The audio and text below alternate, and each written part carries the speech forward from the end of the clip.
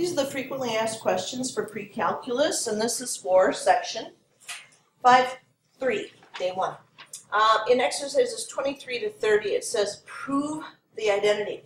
So what I want to start off with here is the left-hand side because we have a really great formula that'll take us through that.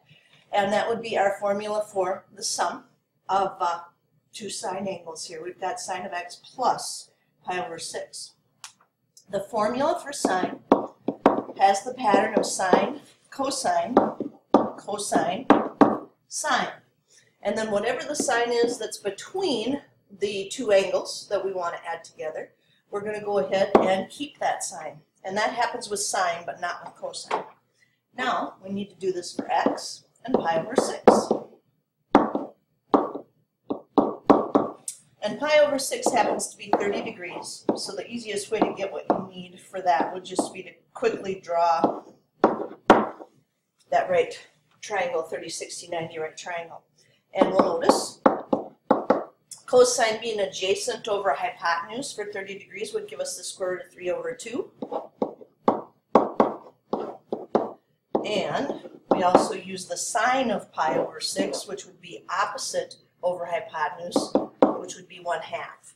So if you're, you're not remembering your unit circle, you can always make a quick sketch of your 30, 60, 90, and 45, 45, 90. But this, of course, will be the square root of 3 over 2 sine of x plus 1 half cosine of x. And that is what they wanted us to prove. So, nice formula that led us exactly where we needed to go.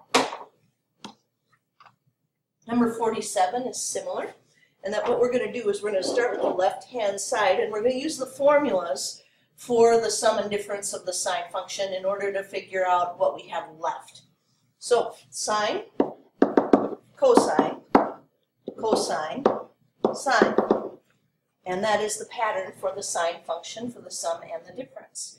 And then what we do is we go back and say, all right, well, it had subtraction in the first one, so this one's going to have subtraction. And we need an x, then a y, and an x, then a y.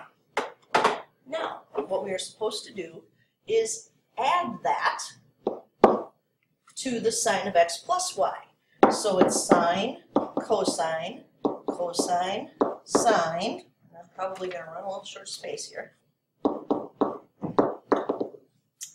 And this time we have addition in the second set of parentheses, so we'll put right in there because again with the sine function, we always keep the sign. And then it's going to be x and y and x and y. So we see what we have here and we take a peek and we say we have sine of x cosine of y minus cosine of x sine of y plus sine of x cosine of y plus cosine of x sine of y. And it shouldn't have escaped everybody that we have 1 with subtraction here. So we have a negative cosine x sine of y and a plus cosine x sine of y. So that leaves us with sine of x cosine y plus sine of x cosine y. And if you didn't catch it before, you notice, wait a minute, those are like terms. We can go ahead and add those. So if we have one of them and we add another one, now we have two.